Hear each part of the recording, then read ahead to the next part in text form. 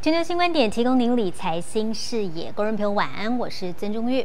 美国联准会一如市场普遍预期，宣布升息三码，把基准利率升到三到三点二五个百分点之间，这已经是创下了二零零八年来的最高水准了。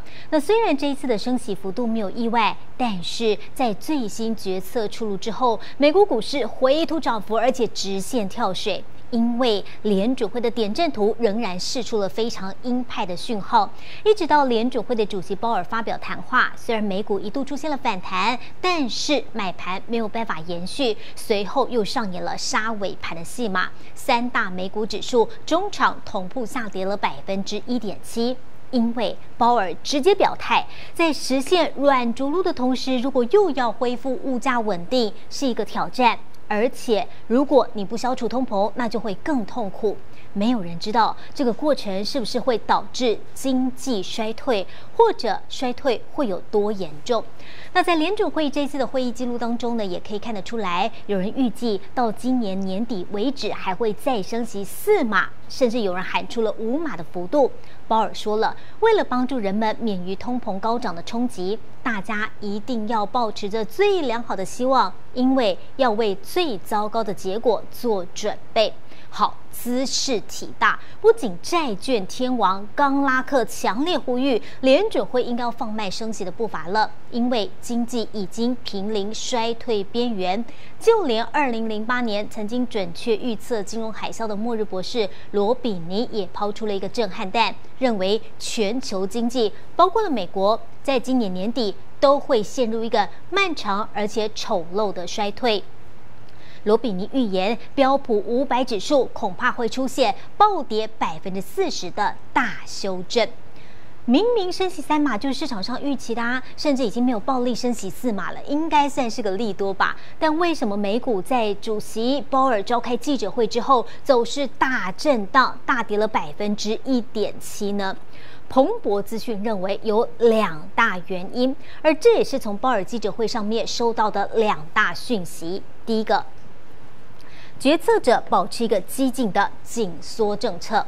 第二，经济软着陆的希望越来越渺茫了。就是这两个极度悲观的讯号，让投资者好恐慌哦，进而抛售美股。那我们就来看一下这次联准会的决策当中，到底有多鹰派。好，首先，联储会除了宣布升息三码之外呢，它也发布了鹰派的点阵图。点阵图就是这些官员们预测接下来，比如说十一月啦、十二月啦，利率应该要维持什么样的水准。如果越来越多人认为这个利率的水准会越高，那就表示接下来升息的幅度可能是越快的。那点阵图显示出来就是官员预测，在今年年底之前，可能还会再升息五码。哇！如果要再升息五码，接下来只有两次开会哦，十一月跟十二月。那如果这次升三码了，那接下来两次要分配五码的幅度的话，那是不是十一月份有可能会再升三码？那十二月再升两码？那这样加起来就是五码了呢？会是这样吗？那这一波升息的峰值可能会落在百分之四点六左右。好。第二个重点，这些决策官员们呢，大幅修正了经济预估值，不仅是调降了今年的 GDP 预估，甚至也把失业率的预估值再度的往上修。好，失业率从百分之三点七大幅上调到百分之四点四，而且他们现在对于经济的预测非常悲观，甚至认为哦，通膨好难缠哦，你怎么打都打不下来，也没有办法回到你预期的水准。通膨率在二零二五年，今年二零二哦，三年之后的通膨率可能都还没有办法降到他们希望的百分之二这样子的水准。那在各项的经济预测都被大幅调整之后，鲍尔当然继续展现了打通膨非常鹰派的立场，他。就说，哎，他的立场一直没有改变哦。从上一次全球的央行年会呃谈话以来，他一直都在传递一个非常重要的消息，就是联准会啊，现在已经哦没有办法管经济了，没有办法管复苏或者是衰退了。他现在的首要任务就是要打通膨，就是要恢复价格的稳定。好。他刚才讲到的这三点，大家都可以理解。可是为什么市场上非常害怕的，就是接下来的这两点？这两点当中可以看得出来，鲍尔呢，虽然在这场记者会里面，诶，他没有暗示，也没有明示说，哎呀，经济衰退已经快要来了。可是他用另外一种方式表达。他说经济衰退这件事情，他说呢，他不知道经济衰退的可能性有多大，甚至也坦诚对抗通膨一定会带来经济痛苦。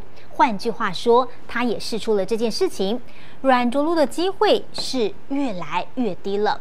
而且对于房市来讲，当然也是一记重拳，因为呢，美国房市可能会出现一个大修正。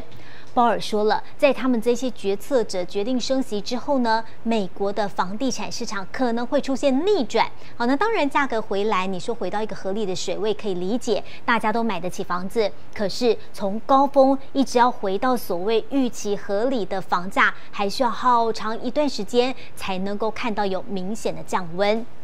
好，所以听得出来，这五点就是主席鲍尔所谈到的重点。所以大家了解了吗？为什么明明是升息三码，明明在预期当中，但是就是因为害怕后面还要继续升，担心软着陆的机会越来越低，美国的房市还要经过大幅度的修正。危险还在后头，所以就听得出来大家在怕些什么了。如果说二零二四年之前降息望，还有经济衰退不知道要衰退多久，那经济硬着陆跟跟整个火爆的房市宣告终结，会进入整个大规模的修正。好。延伸的问题就来了，这些高风险资产还有房市到底要修正多久？我们就先来看一下美国现在房地产的市场啊。现在呢，这个美国房地产的抵押贷款利率已经攀升到二零零八年来的最高水准了。那这也导致大部分的民众，呃，就算想要买房子也买不起，所以呢，房屋的销售量就一路的下滑。你看到现在美国高利率还有高房价。都让现在大家对于负担来讲是更加剧了。如果你从数据来看呢，美国八月份呢，他们的中古屋销售已经是连续第七个月下降了。所以呢，有没有像刚才鲍尔说的，房市再经过修正了？而且呢，这波的修正呢是二零零七年以来最长的跌势。就连美国住宅建商的信心指数每个月也都在下滑。所以可以看得出来，美国的房市，不管是新屋、中古屋或者是商办，现在都饱受通膨之苦。那我们也知道，为了要遏制美国的通膨继续恶化下去哦，鲍尔一直非常严肃的在看待房市的变化。那他在这一次的记者会上面呢，也针对了房价来发表看法。他说啊，现在的房价在下跌，出现了一些减速的迹象。应该有助于让价格更符合租金或者是其他房市的基本面，所以他反倒认为，火热的房价下跌其实是一件好事。如果能够经过修正之后达到一个平衡。供需平衡其实对于美国来讲并不是坏事。那联储会可以这样一直生生不息升下去吗？下场会不会越来越不可收拾呢？虽然鲍尔说了，我现在没有办法预估哦，经济到底衰退到什么样的程度，但是有人出来踩刹车了。